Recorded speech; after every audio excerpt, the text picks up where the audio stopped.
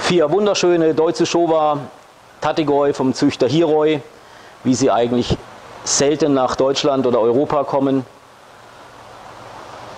Wir haben bereits zweijährige Deutsch-Showa hier von Hiroi, Wachstum 60 bis 70 Zentimeter in der Regel.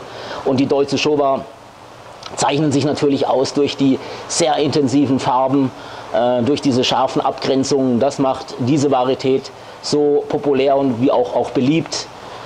Dadurch äh, gibt es natürlich eine unglaubliche Präsenz im Teich aufgrund der sehr leuchtenden Farben.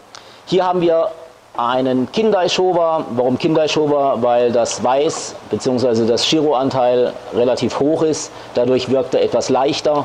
Auch eine sehr schöne Kopfzeichnung.